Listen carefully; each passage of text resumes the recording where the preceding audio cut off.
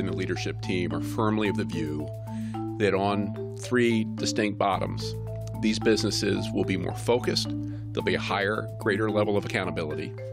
We should have sharper capital allocation, more strategic flexibility, and frankly, I think it's going to be good for the team as well, right? The team that we have today, certainly the team that we'll build over time. We all know that today's talent markets are more mission and purpose driven.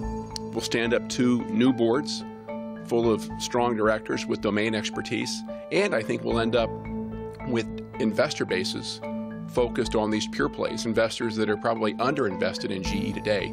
You put all that together, it's clear this is the best path for us to unlock and create value going forward.